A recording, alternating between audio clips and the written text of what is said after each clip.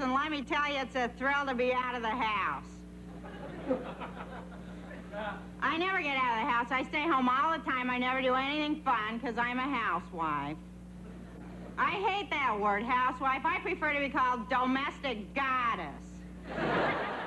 A few years ago, Roseanne Barr was an everyday housewife living in a trailer with her husband and three kids, proving, as she says, that she breeds well in captivity.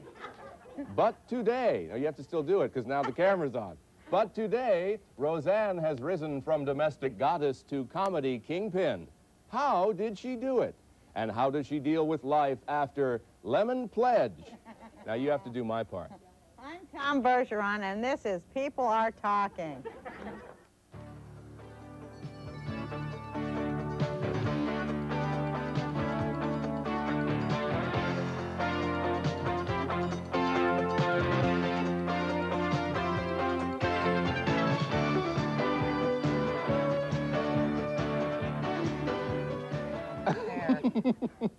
All right, well, obviously we're not going to be having any fun on this show today. Roseanne Barr is here. Hi. The domestic gods. The hair looks wonderful. Thanks. It I hope I does. don't cut my juggler when No, I turn not- my head on That's it. good. I mean, it could survive a...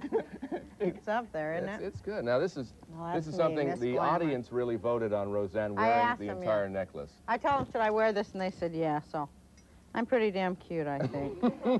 I, I made the I made the, the hair crack, and, and the person who you hear is circling over it. It, it just really looks good. No, it looks does good. look great, It looks doesn't it? wonderful, really.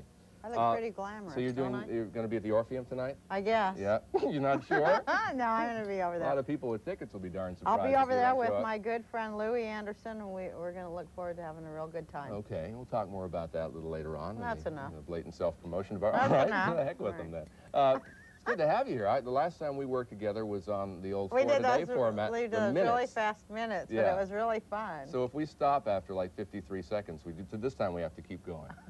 keep going. okay. How does it feel to be regarded as sort of the savior for many women out ah, there? Ah, ah, just, just Is that what I am? having to endure the drudgery of day-to-day housewifery, and here you are out there championing the cause. I don't know. I mean, I think it's neat that if people think that, but I think more than that, people just think I'm a comic. Mm-hmm. I don't think they really think I'm any savior of housewifery. You don't think so? Well, maybe they do, and if they do, that's great. I'll charge more for tickets. How many women? How many women out here have uh, have been or are currently uh, a housewife? All right. oh, stay- see, that's great. Look at that. Now, That's as, great. as far as far as you're concerned, it, you look up to this woman, don't you? I love her. I live in the kitchen or in the cellar. Doing laundry or cooking. That's right. That sounds like a straight line And somehow, I'm doesn't it? you, I just love it. I saw you at Great Woods, and you were fantastic. Oh, fantastic gosh, yeah. with uh, was Julio Iglesias, Yeah. and you were just marvelous. Well, I thank mean, you. I just, I crack up. I hear you on the radio. I just love to listen to you because all I do is laugh. Roseanne, that's let's. great. That's great. There should be more. you. I think you should make a movie with Bette Midler. Oh, boy, would I love And that. you, yeah. I love that. What- Oh, I love her. Don't you love her? Can we find out right now what's Julio Iglesias really like? Well, he's a really nice person, and Uh-huh. uh, he's a he's a very intelligent person, and I think uh, people don't know this really, but he's really funny. He is really a I've heard funny that the accent isn't And for oh, I'm going to tell you something. I shouldn't tell you, but anyways, you know, I'm going to do my HBO special next month, Yes. and he's going to be on it. But nobody's supposed to know that. Oh, all right. So you could know it here, because, right. you know, Well, we, we won't tell anyone. but it's a surprise. But yeah, he's going to do it. All right. Now, what about? Let's get into the area of being a housewife. You Uh-huh. have you have mined that for all kinds of material. Yeah. When you were doing it, did it feel as funny as it has in retrospect?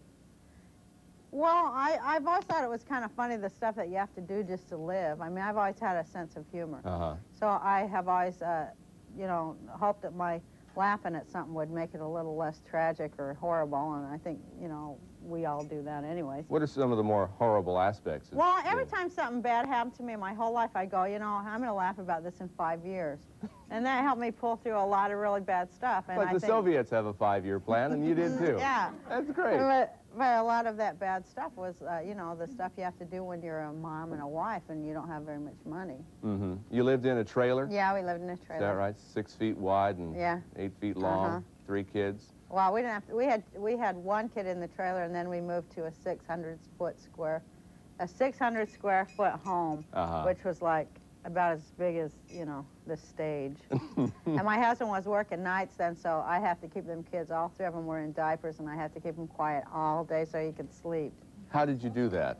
Huh? How I went you- out of my ever-loving mind. I went out of my gourd. It was really hard. But any woman or parent who stays home with little babies like that knows how hard a job that is. And Mm-hmm. then I sort of got the idea later that there was a lot of funny stuff in it that I never heard women talking about unless it was to say that they didn't do it good enough.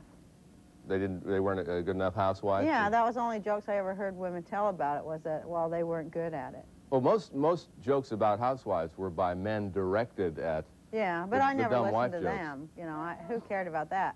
The one I cared about was when women would say it, and I'd go, well, where's this other side that says, why should we have to do it in the first place? Uh huh. So I sort of, I guess I saw a, an opening for myself, and I, I went right through it. They say but I had to be out of my, totally out of my mind to ever do it in the first place. So nature reported vacuum, as do you, I guess, and uh, Yeah. and you went right in there and, I sure did and did. filled it in. I got Filled it real lucky.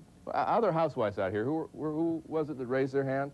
Now, for you, is uh, do you see a lot of truth in what Roseanne talks about? Well, I'm a house mother, and I'm expecting another one. Can I? Well, let's oh, see. I want to see. pregnant. Let- Who, who is this? Can we get?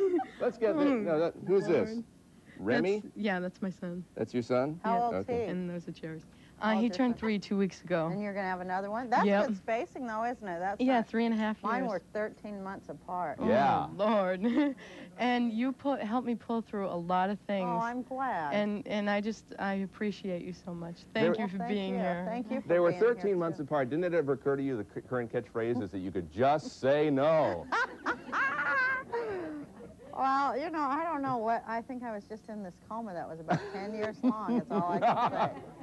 That's all I can say. I, I just know that I, I liked being pregnant a lot because when I was pregnant, you know, my husband, he'd change their diapers in the morning, which was always the worst part. When you get up in the morning and you've got three of them in diaper, well, two. Too, yeah. But if I was pregnant, then he'd do that because I would like regurgitate. So there was va- advantages to it too. You know, I got Yeah. out a lot of that. Sounds like a real happy way to start your day. Oh, yeah. it's unbelievable. Oh my God.